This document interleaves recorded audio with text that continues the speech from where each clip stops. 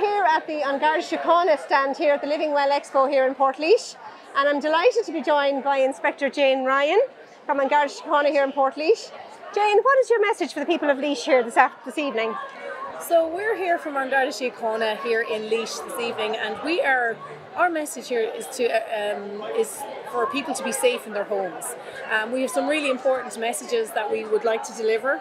Uh, we have information leaflets that we are going to give out. We have a, sp- um, a, talk currently going on out in the, the front area where our crime prevention officer, Sergeant Graham Kavanagh, is talking to the public and anybody here today about home security and how to be safe in your home.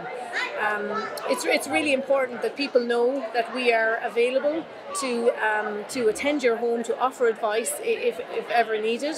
We have some really practical advices here for people um, who may be living alone, who may be um, older, um, and it's, it's really important that people come to us and we can share this information with them. Mm. And how can people contact you?